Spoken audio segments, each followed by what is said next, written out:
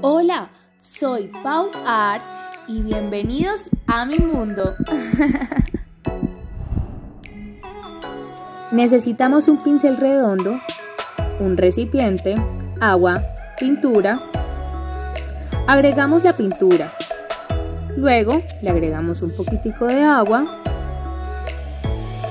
Mezclamos hasta obtener una consistencia eh, un poco líquida para comenzar a hacer nuestras planas. Aquí vamos a soltar un poco nuestra mano para que el día que realicemos el curso tengamos un poco de soltura. Recomiendo que lo hagamos con un pincel. Hacemos presión y luego levantamos para hacer las líneas más delgadas. Que tengan un lindo día y espero aprovechen este video. Nos vemos próximo para el día del curso.